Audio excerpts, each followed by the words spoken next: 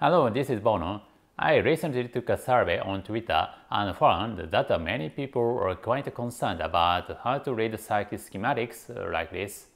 So this time, I would like to talk about how to read circuit schematics, which you don't have to be an electrician to understand. Please watch this movie to the end. First, I'll show you the basic rules of schematics that you should at least know. There are no absolute rules for schematics, but there are some conventions that should be easy to read for everyone. There are four such conventions, roughly speaking, as follows. I will introduce them one by one using the published Arduino schematics as an example. The first one is that electricity flows roughly from left to right. For example, in this part of the circuit, the power supply voltage Vin is input on the left side, and the voltage divided by the resistor enters the comparator and is output on the right side. The signal is input to the FET, which also receives a signal from the left side, and when the FET turns on, the signal is transmitted to the right side, where 3.3 V voltage is output from the right side through the voltage regulator. Although a quick glance at the schematic does not show the direction of the current, it will be easier to read and understand if you keep this basic rule in mind. The next is to write the higher voltage on the top and the lower voltage on the bottom. Voltage is often described as a dumb, so this image should be easy to understand.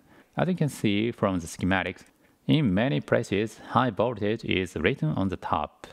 Next is that areas connected by the same line are at the same voltage level. For example, since they are connected to each other in this section, they will all have the same voltage applied to them. The last thing is that if the power supply, ground, and level have the same name, they are connected to each other. For example, if you look at its schematic, there are many power supplies with the name plus 5V, but they are all connected on the circuit. There are also signals with the same name, USB VCC, here and here, uh, which are separated on the schematic but are actually connected to each other. This is done to reduce the number of the lines as much as possible to avoid messing up the schematic. Where to cut the wires depends entirely on the sense of the person who draws the schematic, so it is up to each person to decide. Next, I will introduce the circuit symbols that you should memorize at the minimum. It is much easier to read a schematic if you memorize the circuit symbols in advance, so let's keep them in mind here. So I have compiled a list of them. First, here are the circuit symbols for the very basic electronic components. Resistors are used equally in this jag or square one. Capacitors are marked with a plus sign on one side if they are of the oriented type like electrolytic capacitors. Diodes and LEDs have the same elementary structure, so the same symbol is used only with or without an arrow to indicate light. Transistors and FETs are uh, each of two types, differing only in the direction of the arrow. Transistors are easy to remember because the direction of the current flow matches the direction of the arrow, but FETs are uh, maybe a little harder to understand sensibly because they represent the direction of parasitic diodes that are created in the device due to its structure. This is a power supply, and the symbol used differs depending on whether it is DC or AC. These are circuit symbols that are key to reading and understanding schematic diagrams. GND and ground are sometimes used interchangeably, but they have strictly different meanings. As GND is a voltage reference point in a circuit, and ground is a connection point to the earth. Signal lines are used to connect distant locations on a circuit diagram. The direction of the arrows matches the direction of the inputs and outputs, making them easy to read and understand. For wiring, black circles are replaced where the lines are connected to each other. It is said that it is better to avoid making crosses on a schematics because it is sometimes difficult to tell if there are black circles or not.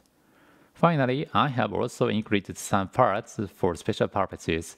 You will encounter these parts frequently, so please keep them in mind while you are at it. I will post these tables on the website, so please bookmark them so that you can check them anytime. Finally, just two little tips for reading schematics. First, schematics are often grouped by function to some extent, so it is easier to read and understand them if you understand them by function. In this Arduino schematic, it is divided into power supply sections, CPU section, interface section, and so on. So, for example, if you look at the power supply section, you can focus on the flow on the power supply, such as how many volts are created based on which voltage. Second, schematics contain the designer's intentions.